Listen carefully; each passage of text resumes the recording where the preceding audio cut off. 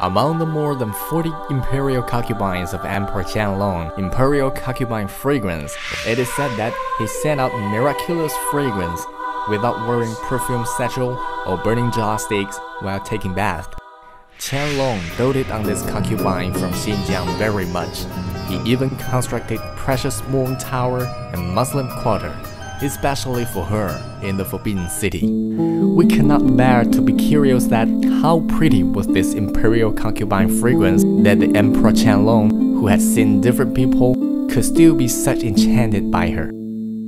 This is a portrait of imperial concubine fragrance and military actress. The existing portraits of imperial concubine fragrance also include imperial concubine fragrance portrait in ritual attire, the portrait in Manchu costume, and the portrait in western dress.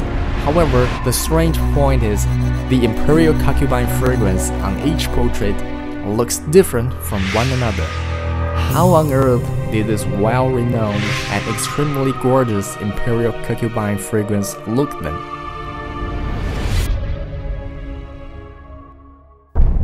The archaeologists found out the answer.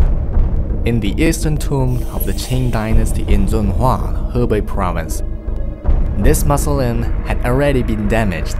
At the arrival of the archaeologist, the skeleton was scattered all over the place. The experts found the skull of the tomb owner, Imperial Concubine Fragrance.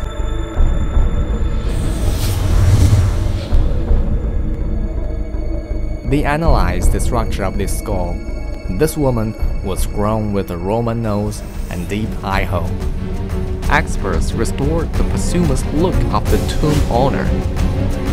An oval face, almond-shaped eyes, arched eyebrows, and a small mouth. This is probably the photo that is most approximate to the real look of Imperial Concubine fragrance.